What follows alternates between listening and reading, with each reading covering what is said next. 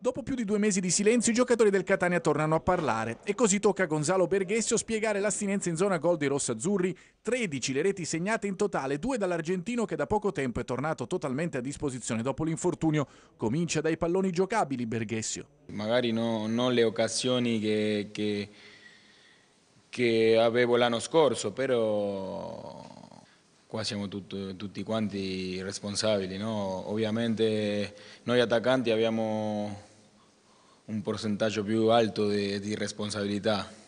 A chi gli chiede se sente il bisogno di una spalla diversa nel reparto avanzato, Berghesio risponde che lui non fa mercato. Intanto alcuni attaccanti accostati al Catania nell'ultimo periodo raggiungono altri lidi vedi Vargas e Floccari.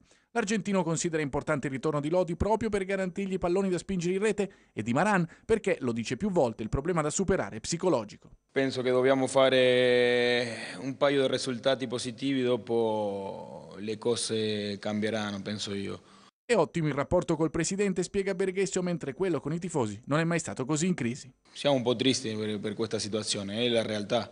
E dopo penso che tutti, tutti insieme possiamo cambiare questo momento, questo presente.